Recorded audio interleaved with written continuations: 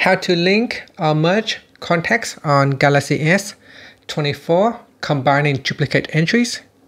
First tap on the home button to go back to the home screen. On the home screen, swipe up to go into the app screen. Then in here, open up contacts.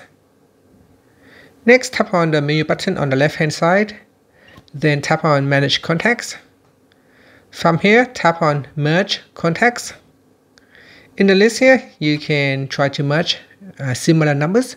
So here I've got this number here with three different contacts. So I can tap on that, then tap on merge.